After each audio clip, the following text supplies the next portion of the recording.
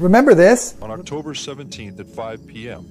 as the third game of the 1989 World Series was about to begin. time in 27 years, a World Series game will be played in Candlestick Park. The Battle of the Bay continues. Take.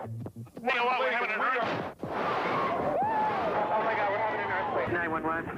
Yeah, this is emergency in San Francisco. Uh, windows. That was the Loma Prieta earthquake that jolted the Bay Area in 1989. And experts say another big one is coming, and thousands of homes across the Bay Area just aren't ready. The good news is there's a state program that allows homeowners in Oakland, Berkeley, and San Francisco to apply for grants of up to $13,000 to reinforce single family homes that have a vulnerable soft story on the ground floor.